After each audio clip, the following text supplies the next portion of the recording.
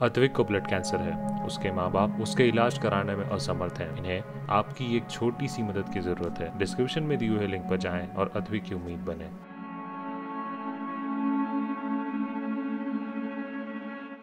Post Covid ગણાતી Mucor માઇકોસિસની મહામારી હવે વધુ ઘાતક બનતી જઈ રહી છે સુરત શહેરમાં જ પાંચસોથી વધુ દર્દીઓ સારવાર લઈ રહ્યા છે મ્યુકરના ત્યારે હવે સમાચાર એ સામે આવ્યા છે કે મ્યુકર માઇકોસિસના પાંચ નવા વેરિયન્ટ છે, જેઓ રંગ બદલી રહ્યા છે. આ જ મુદ્દા પર આજે કરીશું વાત. નમસ્કાર, આપ જોઈ રહ્યા છો ગુજરાત તક અને આપની સાથે હું છું સૌમ્યા. શહેરની સિવિલ સ્મીમેરની સાથે સાથે કિરણ હોસ્પિટલમાં મ્યુકર માઇકોસિસની સારવાર દર્દીઓને આપવામાં આવી રહી છે.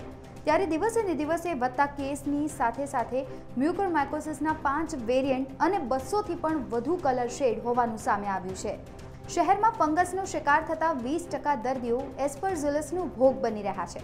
જે પાંચ વેરિયન્ટ સુરતમાં દર્દીઓમાં જોવા મળ્યા છે એ આ મુજબ છે. રાઇઝોપસ, રાઇઝોમ્યુકોર, એપ્સેડિયા, સિન્સીફેલાસ્ટ્રો અને સક્સિનિયા આ પાંચ પ્રકારના મ્યુકોર અત્યારે સુરતમાં જોવા મળ્યા. કિરણ હોસ્પિટલના માઇક્રોબાયોલોજિસ્ટ મેહુલ પંચાલ આ વેરિયન્ટ વિશે વધુ માહિતી આપી રહ્યા છે. સાંભળીએ. છેલ્લા એક માસમાં કિરણ ખાતે મ્યુકોરમાઇકોસિસના ખાસા બધા દર્દીઓ દાખલ થયા છે. જ્યારે પણ આપણી પાસે લાંબા સમયમાં અથવા તો એક સાથે વધુ દર્દીઓ આવતા હોય છે, ત્યારે આપણે એનું ડેટા એનાલિસિસ કરી શકતા હોય છે કે શું વસ્તુ પરિસ્થિતિ છે અને કેવી રીતે વસ્તુ થાય છે.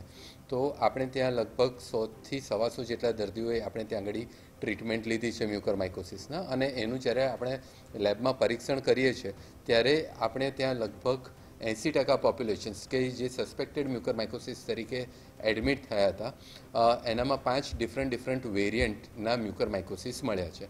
આપણે જો મ્યુકરમાઇકોસિસનું આમ વિચારીએ કે મ્યુકરમાઇકોસિસ એક ફંગસનું ગ્રુપ છે કે જેની અંદર સાતથી આઠ જેટલા ડિફરન્ટ સબગ્રુપ્સ આવે છે, અને એનાથી પછી આગળ અંદરનું રિઝોલ્યુશન કરીએ, તો બસોથી વધારે જાતના મ્યુકરના ફૂગના જીવાણુ હોય છે.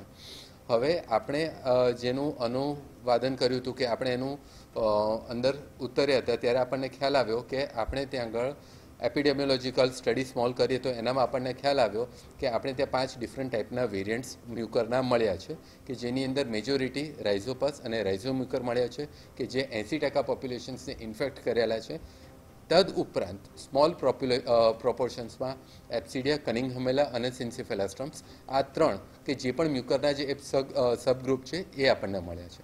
હવે આપણે વાત કરીએ એસ્પરજિલસની. સો એસ્પરજિલસના પણ ઇન્ફેક્શન્સના કેસીસ મળ્યા છે. એવું નથી કે રેડિયોલોજીમાં દરેક વખતે કીધું કે આ સસ્પેક્ટેડ ફંગલ ઇન્ફેક્શન્સ છે તો મ્યુકર જ હોઈ શકે. ખાસ કરીને કોરોના પછી જ્યારે લોકોની immunosuppression immunosuppressive agents પર રહેતા હોય છે અને એમની ઇમ્યુનિટી ડાઉન થતી હોય છે, તો એ લોકો એસ્પરજિલસના ઇન્ફેક્શન્સથી પણ એટ રિસ્ક હોય છે. એસ્પરજિલસ અને મ્યુકરનું ઇન્ફેક્શન્સ અલગ અલગ છે, એ જાણવું વધુ જરૂરી છે, કારણ કે જે દવા મ્યુકર પર as a first line of treatment હોય છે, એ આપણે એસ્પરજિલસમાં નથી યુઝ કરતા અને જે દવા એસ્પરજિલસમાં first line of treatment voriconazole હોય છે, કે જે આપણે મ્યુકરમાં નથી કરતા. હવે જ્યારે આપણે વાત કરીએ કે એસ્પરજિલોસિસ છે, તો એસ્પરજિલોસિસના પણ પછી બસોથી વધુ પ્રકાર હોય છે, જેની અંદર આપણને પણ લગભગ છથી સાત ડિફરન્ટ ટાઈપના એસ્પરજિલસના પણ ઇન્ફેક્શન્સ મળ્યા છે. હવે વાત કરીએ નવીનતમમાં કે નવીનતમમાં શું છે? સો બેથી ચાર ટકા પોપ્યુલેશન્સમાં પણ આપણને એવું મળ્યું છે કે જેમાં મ્યુકર અને એસ્પરજિલસ બંનેનું કો ઇન્ફેક્શન્સ એક જ પેશન્ટમાં દેખાયું છે.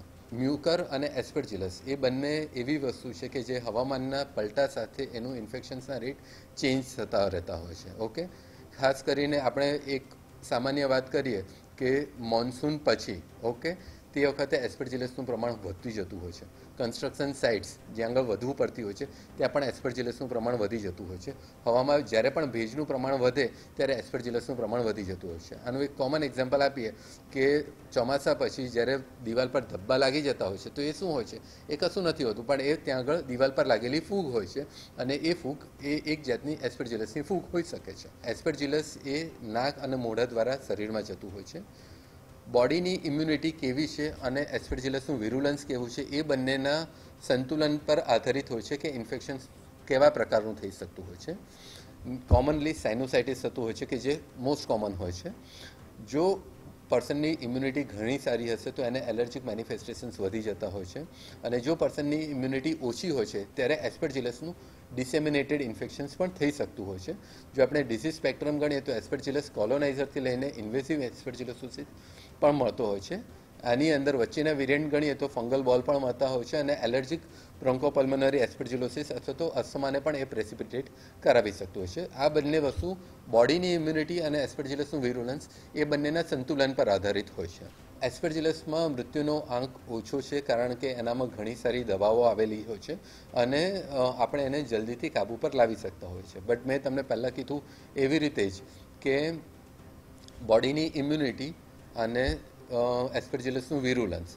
અને એની જોડે આપણે સપ્લિમેન્ટ કરીએ છીએ એન્ટી એસ્પરજિલસ દવા કે જે વોરિકોનાઝોલ્સ હોય છે એનાથી. હવે એ ત્રણ વચ્ચેની ફાઇટ થતી હોય છે અને એનામાં જે પ્રમાણે આઉટકમ નીકળે એ પ્રમાણે ઇન્ફેક્શન્સ અથવા તો મૃત્યુદર નક્કી થતો હોય છે. યુઝવલી એસ્પરજિલસમાં મૃત્યુદર એટલો નથી હોતો જેટલો મ્યુકરમાં હોય છે. મ્યુકરમાં મૃત્યુદર વધારે હોય છે કારણ કે એ એગ્રેસિવ છે, એ ઇમિજિએટલી અથવા તો એકદમ જલ્દીથી એનું ડિસેમિનેશન્સ થતું હોય છે અને એ જલ્દીથી ફેલાતી હોય છે. દેશભરમાં કોરોનાએ હાહાકાર મચાવ્યો છે અને હવે ગુજરાતમાં મ્યુકરના કારણે સ્થિતિ વણસી છે. કારણ કે દિવસે ને દિવસે કેસીસમાં વધારો થઈ રહ્યો છે અને આ મ્યુકર માઇકોસિસનો કેસ ખૂબ જ ઘાતક પણ સાબિત થઈ રહ્યા છે. આ રિપોર્ટને આપના સુધી પહોંચાડવામાં મદદ કરી છે અમારા સહયોગી સંજયસિંહ રાઠોડે. જો આપને અમારો આ વીડિયો પસંદ આવ્યો હોય તો તમારા અભિપ્રાયો અમને કમેન્ટ બોક્સમાં ચોક્કસ જાણ કરજો. આ ઉપરાંત આપ અમને ઇન્સ્ટાગ્રામ ટ્વિટર અને ફેસબુક પર પણ ફોલો કરી શકો છો. નમસ્કાર.